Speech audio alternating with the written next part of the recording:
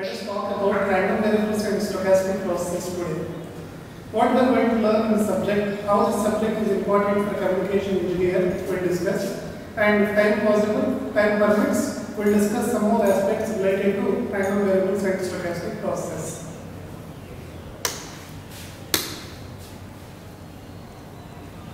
Before we go to actually what is random variables and stochastic process, let us understand few terms like what is signal, what is system, how signals are classified, what is a random signal, what is the importance of random signal, what are the wanted random signals, what are the undesired random signals, and finally we will discuss what is the random variable types and classification in this particular class. Signal basically contains some information. So signal is formally defined as a physical quantity which is varying with one or more independent variables and carrying information from one place to another place is called as signal. And what is a system? System will modify the signal, take it as input, process it and produce a desirable output. And coming to classification of signals, signals are basically classified into continuous time signals, discrete time signals, periodic signals, non-periodic signals, energy signals, power signals and deterministic signals as well as probabilistic signals. Probabilistic signals are also called as random signals or stochastic signals. The most interesting classification is the last one. If you look at the last classification, one classification says that it is a deterministic signal as well as probabilistic signal. Let us understand what is the difference between deterministic signal and probabilistic signal.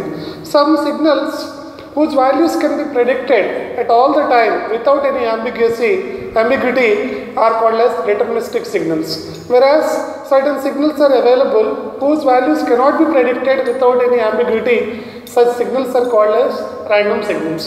This world is overwhelmed with lot of deterministic as well as non-deterministic signals.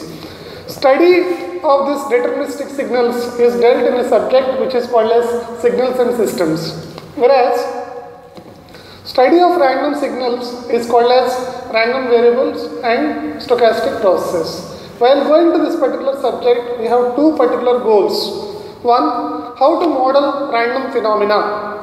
The second one, how to bring time into consideration along with this random phenomena. Third one, if I feed this to a, if I feed this random signal to a system, how does it respond? How does it behave? What are the outputs I am going to get it? So these three things will be exploited or studied in detail in this particular subject.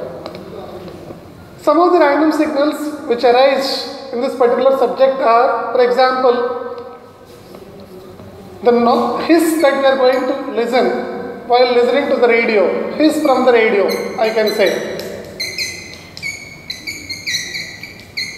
The second one, the noise like snow on TV screen and noise on the radio telescope. If I look at these three classifications, all these three are undesired signals. Whereas there are certain signals which are wanted, certain random signals which are wanted. For example, the output from vibration analyzer appears to be random but needed.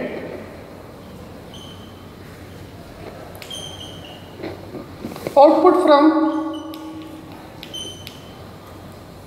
solar plate or photovoltaic cell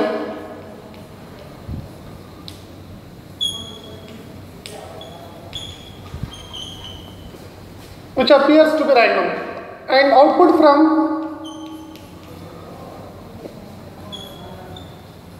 wind power generator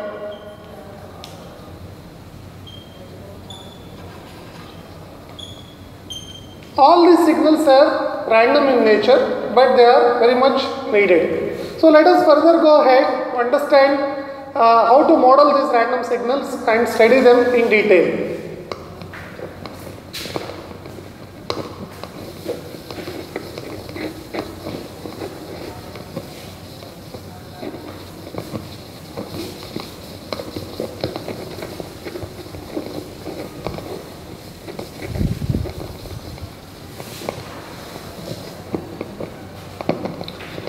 You perform a random experiment like throwing a coin, so what are the outputs that I am going to get is a set of either heads or tails. If I throw a die, the sample space I am going to get is 1, 2, 3, 4, 5, 6 like this. Similarly, this similarly the, the output from English alphabets like vowels is A, E, I, O, U. If I observe these sets, there is no consistent way of representation of these sets. So, a random variable will provide a mechanism for, con for consistent representation of your sample set.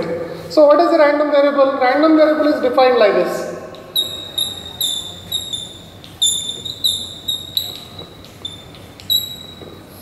Random variable is a rule or a function which maps every element of the sample space into points onto the real line. Remember, the output from random variable is always a real number. For example, if I toss a coin, the possibilities are head or tail. Now I'll write a rule. What is the rule? Rule is like this. If head turns up, map it to plus 1. If tail turns up, map it to minus 1. So head is mapped to plus 1 whereas tail is mapped to minus 1. So if you see this experiment, it has two elements in the sample space, one is head as well as tail. Now the positive, when head is mapped to plus 1 according to this rule and tail is mapped to minus 1 according to this rule. The, the rule or the function which maps every element of the sample space onto the points onto the real line is called as my random variable. Let us go for the classification of random variables. Random variables are classified into three types based on the values they have.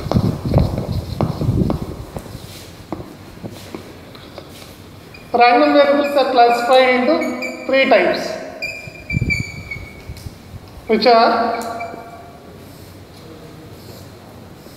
a discrete random variable, a continuous random variable, and a mixed random variable.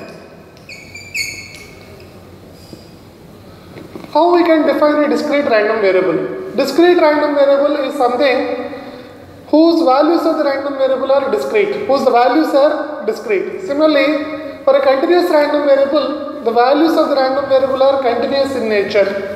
The values of the mixed random variable are both mixed. That means part will be continuous as well as part will be discrete. Let us take one example for discrete random variable and we will study that. For example, if I consider an experiment of tossing a coin and throwing a die simultaneously.